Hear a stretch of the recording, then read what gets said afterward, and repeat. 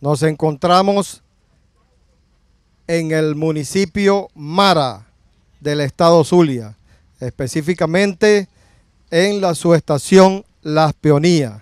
Esta es una de las subestaciones que ha sido saboteada por bandas delincuenciales inescrupulosas en articulación con factores externos desde Colombia, donde permanecen los autores intelectuales para el sabotaje eléctrico en la región zuliana. Esta es una de las 12 subestaciones que en el año 2018 han sido saboteadas para causar malestar en la población, en los zulianos y las zulianas y generar graves alteraciones al orden público.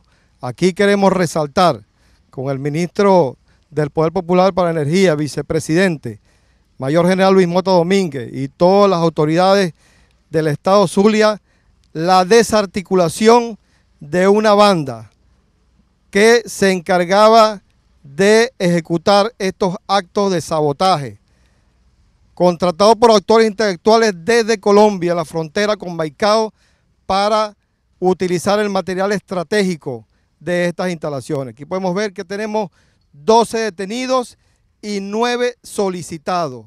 21 personas se encuentran investigadas en este caso. Aquí tenemos toda la red que formaba esta banda organizada y tenemos también los elementos de interés criminalístico que utilizaban para cometer esta fechoría. Este cable que ustedes ven aquí, este cable, que es el mismo este, que está acá, está en el lecho marino, allá atrás, donde están las torres. Y esta persona con estos instrumentos, la señorita y estos, estas torres, lo utilizaban en el lecho marino para levantar este cable. Y por supuesto, todos estos componentes que se ven acá, todos estos componentes que se ven acá forman parte de este cable. Si ustedes ven el cable armado, y el cable desarmado. Personas que utilizaban radios portátiles, embarcaciones para salir por el lago hacia la población de Santa Cruz de Mara. También utilizaban vehículos para transportar hasta la frontera con Colombia a través de los caminos verdes. Y aquí se encuentran los 12 detenidos.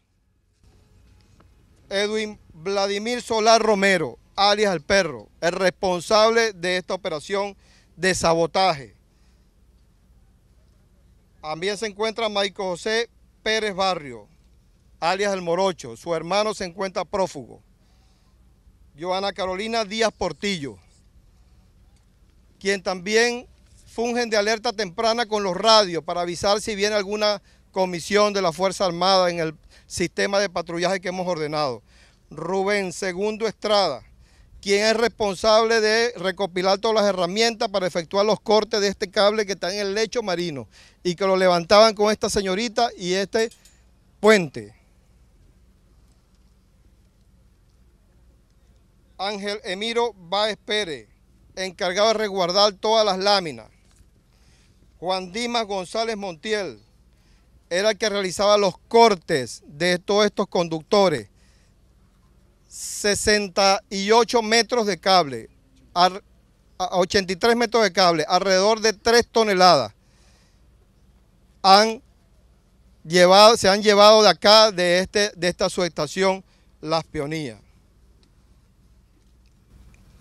Giovanni Alejandro Martínez Fernández, quien también trasladaba las, las láminas con Gerson Villalobos Salas, Diana Luz González Montiel, quien también era sistema de alerta temprana con los radios, Gerardo Antonio Barrios, quien prestó esta lancha para movilizar el material las veces que fue cortado el cable, y Lucy Cuchinaida.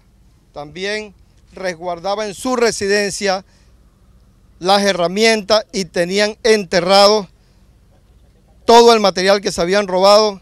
Aquí damos un, una felicitación de forma pública a los organismos de seguridad del Estado, especialmente al 6CPC, quien fue responsable de dirigir las investigaciones junto al Ministerio Público. Tenemos nueve personas solicitadas. Leobaldo Enrique Pachurio, quien es cooperador y tenía oculto el material en su casa, es un ex guardia nacional que fue expulsado por medidas disciplinarias el año pasado. Nuris Violeta Churio Morales, quien era su mamá y también servía de alerta temprana con los radios para alertar mientras se encontraban cortando el cable y cometiendo el acto de sabotaje. Yasmín del Carmen González González.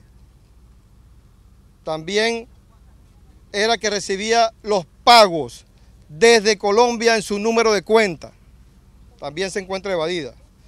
Yormin Celín Martínez Leal compraba el material y lo trasladaba en camiones 350 hasta la ciudad de Maicao, Colombia. Es, es de hacer destacar que esta banda se encontraba operando desde el año pasado en este sector, dedicado al sabotaje, dedicado al sabotaje de todas las subestaciones que se encontraban en el municipio Mara. Nosotros queremos destacar también que hemos desmantelado una peligrosa banda que se dedicaba al sabotaje de las instalaciones del Sistema Eléctrico Nacional. Estas personas que están aquí y los nueve solicitados son los que le quitaban la electricidad al estado Zulia, los que están acá. 300 ¿eh? megavatios dejó de generar esta subestación por este acto de sabotaje que en el día de hoy estamos denunciando al país.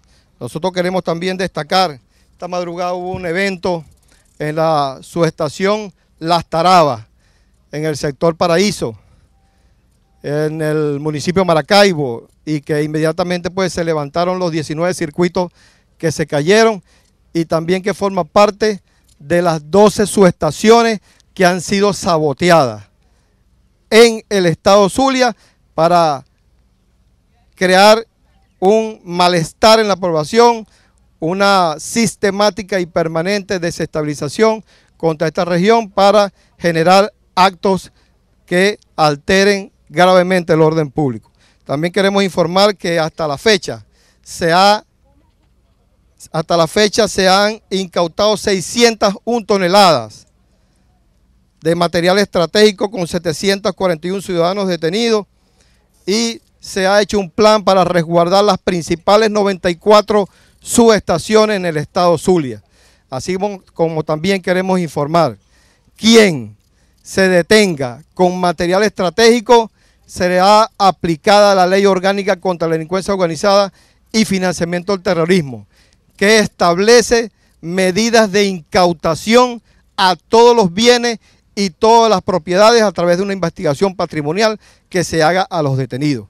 Además de eso, se ordena a partir de hoy el cierre temporal de toda la chatarrera en el estado Zulia, hasta que se hagan las investigaciones una por una de todo el material que tienen en su poder, de dónde han sido recibidos y hacia dónde se han enviado. Nosotros vamos a seguir evaluando todas las medidas estratégicas junto con el Ministerio y el órgano rector Corpolet para garantizar la estabilidad en el sistema eléctrico nacional y la, estabilidad en el sistema eléctrico de la región zuliana, los zulianos y los, zulianos.